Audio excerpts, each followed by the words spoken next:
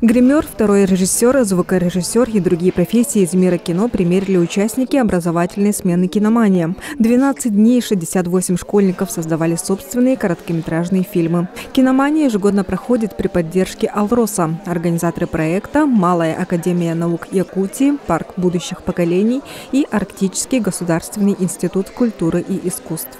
Я рассказал детям, чем занимается художник-постановщик, реквизитор, э, как работать на площадке, взаимодействовать э, со всей группой, что такое бутафория, декорации.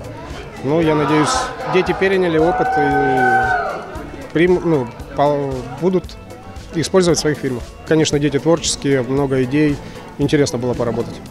Школьники боролись за победу в 14 номинациях, среди которых лучший фильм, лучший монтаж, лучшая афиша. Конкурсантов оценивали по нескольким критериям. Например, изложить основную идею и заложить важный посыл фильма за 10 минут. Итоги подвели на фестивале, где ребята прошли по красной дорожке. От смены я ожидала очень многого, потому что ну, от всех своих знакомых активистов слышала. А, в первую очередь мне понравилась организация. Она замечательная, вожатые, повара, кстати, очень вкусная еда.